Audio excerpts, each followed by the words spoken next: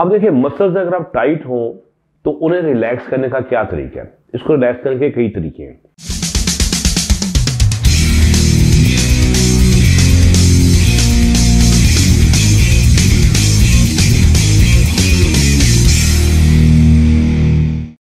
एक तरीका ये होता है, उन मसल्स को खींचा जाए।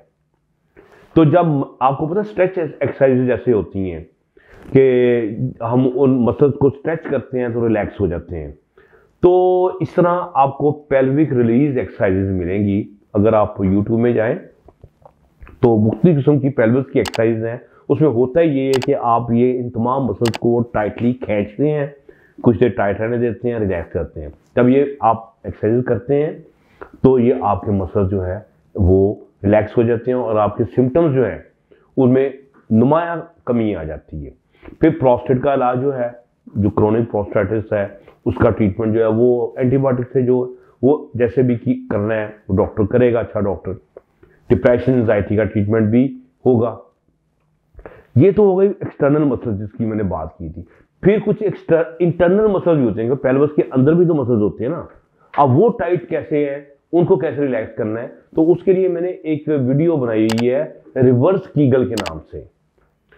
रिवर्स कीगल में होता ये है कि बेसिकली आप, इस तरह बैठे बैठे झुक झुक के अपने टखनों को पकड़ लेते हैं, ऐसे करके, ठीक है? मैंने, और फिर आप लंबे लंबे गहरे गहरे सांस लेते हैं। जब सांस आप अंदर लेके जाते हैं तो आपकी हवा पेल्वस के अंदर जाके एक प्रेशर डालती है तो अंदर के मसल जो है रिलैक्स होते हैं।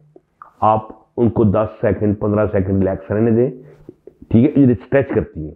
तो फिर ये रिलैक्स हो जाती है।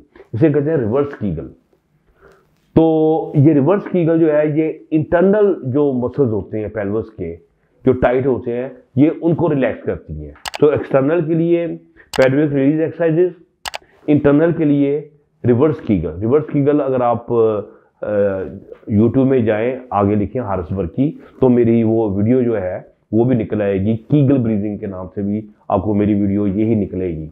जिसमें मैंने बताया कि किस तरह आप ब्रीदिंग एक्सरसाइज के ज़रिए आप इंटरनल मसल्स को रिलैक्स करते हैं। फिर इसके अलावा आप, जो प्रीनियल मसल्स हैं एरिया है आपका बिटवीन टू लेग्स उसकी आप मालिश भी कर सकते हैं। आप कोई छोटा सा गेंद नरम सा हो, ये नहीं सख्त वाला, नरम सा गेंद, उसके ऊपर बैठ के आप मूव करें, ये मसल्स की मसाज होगी, ये रिलैक्स कर देंगे। अच्छा फिर इसके अलावा कोई मसाजर ले लें, छोटा सा ट्राईपोर्ड मसाजर आते हैं छोटे छोटे मसाजर होते हैं वो वो आप नीचे रख के ऊपर बैठ जाएँ, वो टाइटली वो आपकी मसाज करेंगे तो आपके जो टाइट मसल्स हैं, ये रिलैक्स हो जाएँगे।